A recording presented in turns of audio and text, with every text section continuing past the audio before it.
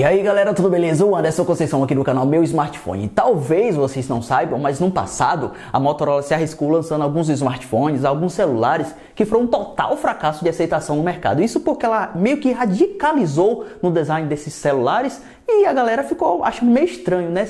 Não queria se arriscar a comprar esses telefones meio estranhos. Então eu fiz a lista de cinco desses smartphones celulares que foram lançados no passado pela Motorola e que certamente entrou para a lista dos piores celulares já lançados por essa marca. Confere essa lista, já larga o like que não pode faltar e vamos lá, vamos nessa.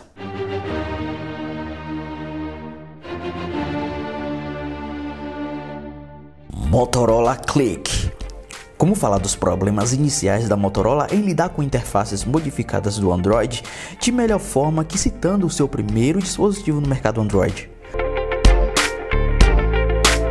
O clique foi a primeira oportunidade para que os consumidores experimentassem o amargo sabor do Moto Blur, lenta, bugada e com design questionável. Seria motivos suficientes para este modelo estar nesta lista, se não fosse também o seu corpo minúsculo e nada confortável de manusear.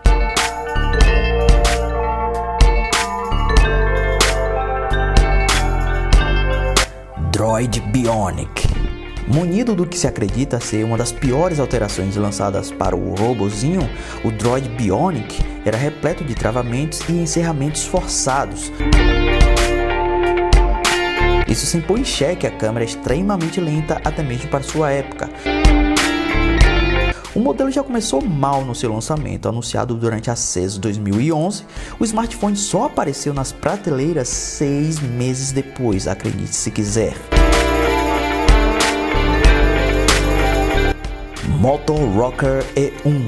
Com o sucesso do iPod em 2005, a proposta de um dispositivo inteligente especialmente dedicado à reprodução de músicas parecia mais interessante do que nunca. Ao seguir a onda de sucesso em uma rara parceria entre a Apple e a Motorola, foi apresentado o conhecido como iTunes Phone. Diferente do que a empresa queria vender, não oferecia grandes possibilidades para os amantes de músicas, uma vez que era capaz de comportar apenas 100 músicas, possibilitadas graças a um árduo processo de transferência, visto que o modelo suportava apenas o arcaico USB 1.1.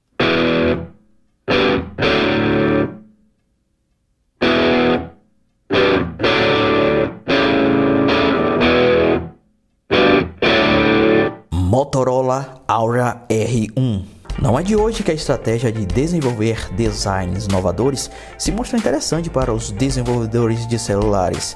Assim também as tentativas falhas não são tão recentes. Decisões de designs questionáveis podem ser notadas no passado ao observarmos o lançamento do Aura R1, que tinha um display totalmente redondo em uma época em que os maiores atrativos dos dispositivos da categoria eram capturar fotos e navegar na internet. Caso você não tenha notado, ambas as atividades pedem por displays maiores e preferencialmente retangulares, mas esse smartphone contrariava tudo isso e o resultado você já sabe.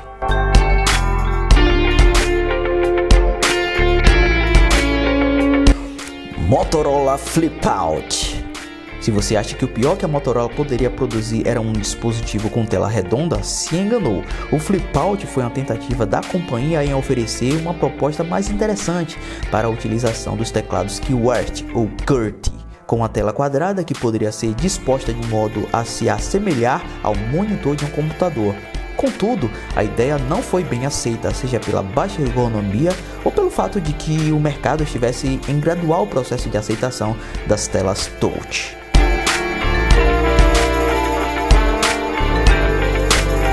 Enfim, as mudanças de mercado certamente pavimentaram um caminho complicado para a Motorola, mas não impediu que a mesma obtivesse êxito anos depois. E mesmo tendo um péssimo começo no mercado Android, hoje a empresa figura como uma das marcas mais relevantes em grandes mercados mundo afora. Pois bem, pessoal, então essa foi a minha lista com cinco dos piores celulares já lançados pela Motorola. Claro que pode ter outros modelos, né? Vocês podem deixar na sugestão aí nos comentários. Fica livre para vocês comentar e dar like à vontade aí surgiram outros vídeos como esses, né, para que quem sabe eu possa trazer outros vídeos como esse de interação, né, para vocês adquirirem conhecimentos celulares que foram lançados no passado e que provavelmente vocês não conheceram. Eu acho que é interessante esse tipo de vídeo. Então, deem uma força aí apoiando aí, caso vocês queiram. Vou ficando por aqui, um grande abraço e até a próxima.